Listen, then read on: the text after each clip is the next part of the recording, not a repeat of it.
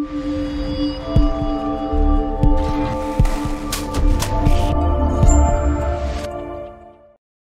everyone, welcome back to UE5 BP Guru.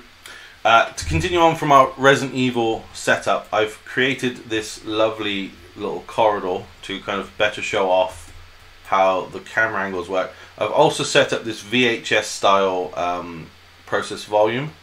Um, so if I click play, we now have what looks like CCTV cameras now in our scenes. Um, and it just looks way more effective. So I thought I'd show how to do this.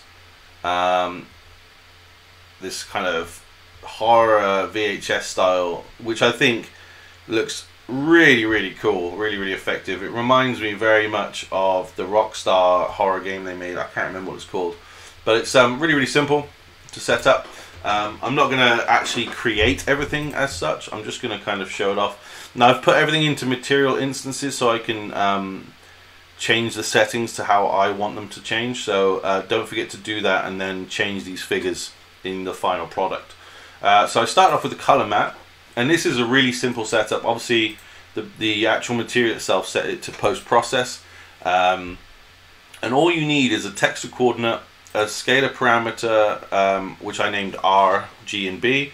Um, add them both together um, create a scene texture and set them all to post process 0 uh, and then use a mask and then change each one to R, G and B which coincide with your scalar parameters.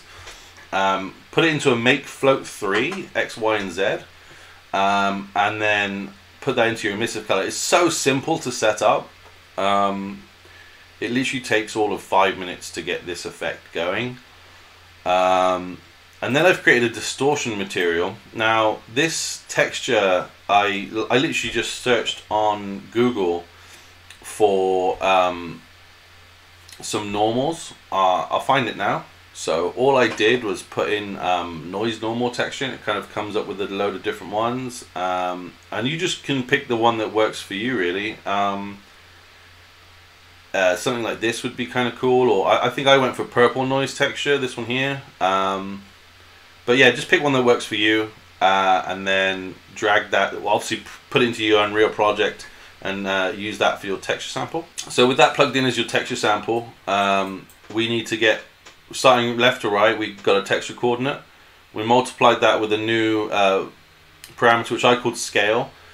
Um, and then that goes into a panner and the panner is set to 0.3 and 0.3 we get a sine which is also set up to 0.3 and then we get a, a time um, node that all plugs in together uh, into the texture sample UV coming off the red value of your texture sample get a multiply and create an intensity. Mine set to 0.05 but it, it, it changes inside the um, in the material instance. Add that to uh, another texture coordinate and put that into another scene texture, um, which is post-process input. Put that into the emissive color and then also set your material to post-process. With all this together, um, we come back to our scene, find our post-process box, um, set up two arrays, post-process material arrays, uh, and plug both of them in. Oh, uh, so you've got your color mat and your distortion mat and you should have this effect. But once we open up the material instances for the color mat and the distortion mat, I've obviously changed the settings. So what worked for me was uh, the B value minus 0.002 and the R value at 0.002. So make sure B is minus and R is uh, positive. With that setup, I've got this very light kind of effect. I mean, if I upped it ever so slightly, so if I made that 0 0.004 and this one 0 0.004, you can see it's just made that a little bit harsher. So it, it looks a little bit more distorted, but I, I actually prefer it at minus 0 0.002. I only want mine very lightly done. I don't want it to be over the top. We're not looking at like a 90s VHS kind of um, camera system where you couldn't see anything on the screen. Uh, and then for the distortion material, I ended up putting the intensity down to 0.008 and the scale to 0.5. Um, and that's how I got this effect. Um, so if you've enjoyed this, I hope this has helped you kind of create that lovely kind of uh, classic Resident Evil or um, Rockstar horror kind of effect with the cameras. Um, as I say, I'll just show it off one more time, and you've, you've really got a cool feel to this. Um, so yeah, really, really pleased with how this actually turned out.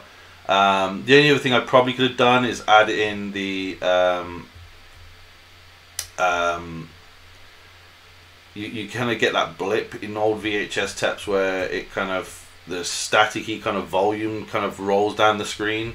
Uh, you probably could have added that in, but um, not at the moment for me. The only other thing I probably would like to do on this is create a player HUD um, that's got like a little red record dot or something at the bottom right. Um, because I think that would just be really, really uh, like a fun little addition to this. Um, but yeah, thanks so much, guys, for watching. Uh, I am getting to the locomotion and the directional and the turn stuff. Uh, that's coming up next. But I just thought I'd wanted to do this uh, in between. So thanks so much, guys, for checking this out. Uh, and I'll see you next time. If you've enjoyed this, please leave a like, a little comment, and um, hit that sub button. It's free to do. And, I'll, you can also change your mind down the line. Thanks so much, guys. Take care. Bye.